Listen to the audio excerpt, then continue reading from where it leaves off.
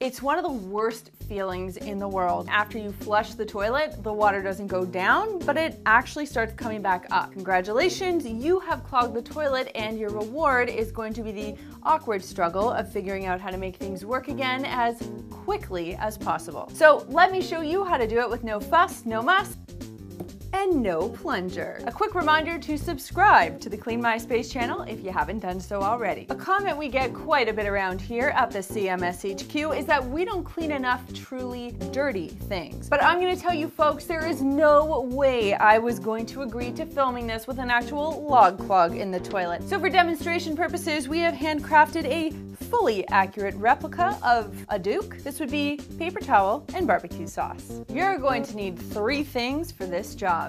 Hot water, dish liquid, and a little bit of time.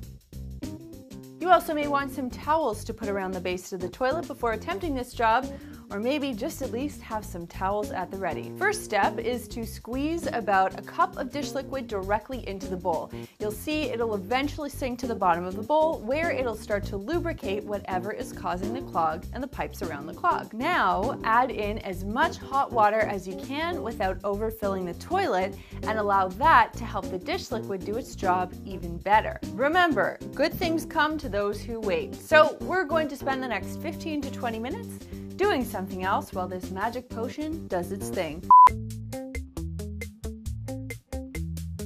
It's been about 20 minutes and you'll notice the water level has probably sank quite a bit. This is a good thing, but resist the urge to flush, fill your bucket up with hot water, and dump it down the toilet again. The reason you want to do this is to help restart that water cycle and to further push that clog right down the pipe. Then you can flush and then you can move on with your day.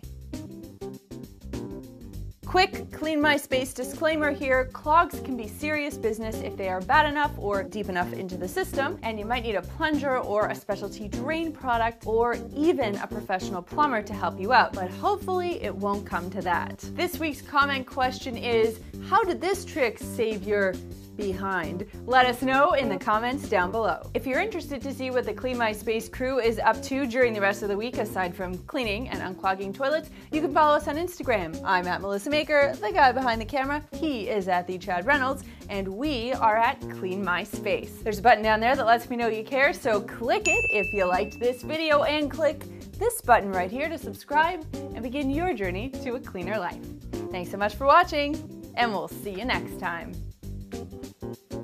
It's that special time of the week where I get to throw you to a couple of other videos I think you're going to love. And since we're on the topic of toilets, I thought I'd throw your attention to two other toilet related videos that we have. The first one is how to clean your toilet in three minutes. And the second one is 10 things you should never flush down the toilet. Thanks guys, and I'll see you next week.